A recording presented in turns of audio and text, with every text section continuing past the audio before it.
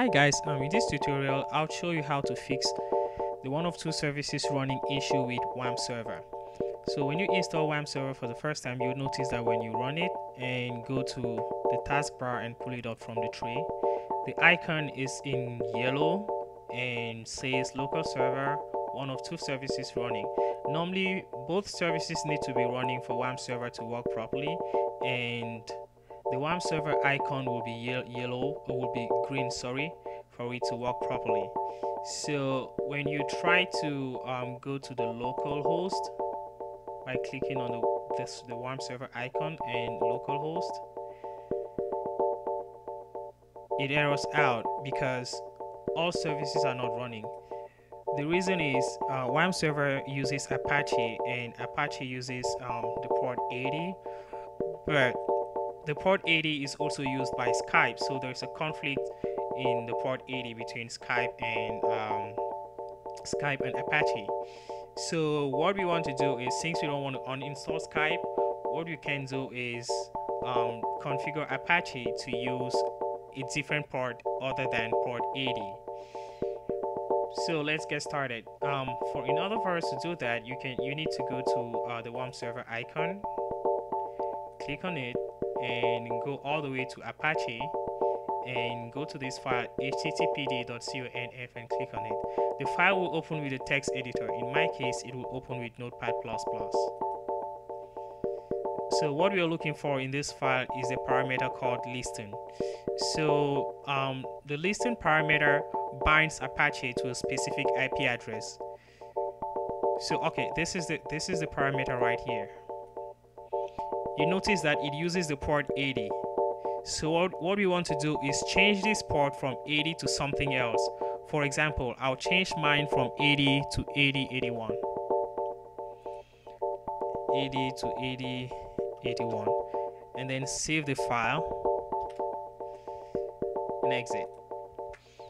Once that is done we need to restart WAMP server such that WAMP server can pick up the, uh, the configurations.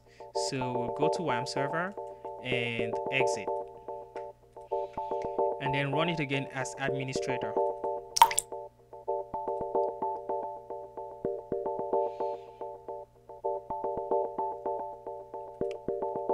So you notice that when WAMP server restarts, the icon is now green and it says all services running so this means that WAMP server is working and everything is working. So let's test it. So let's go to WAMP server again and click on localhost to, to, to make sure that it's working.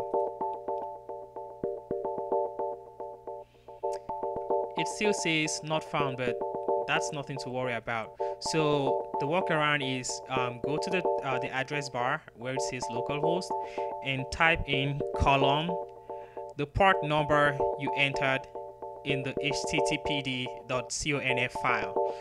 I entered 8081 in mine and hit enter. Boom. So once you do that, you it brings us to this WAMP server configuration page. This means that WAMP server has been fully configured and it's working on this local machine. Um, just for a quick recap, WAMP server it's a web it's a Windows uh, development environment for web applications using um, uh, using PHP, Apache, and MySQL databases. So now this tells me that my WAMP server is working. Let's see if my, let's test my PHP to make sure it's working too. So go back to the WAMP server icon and click on PHP my admin.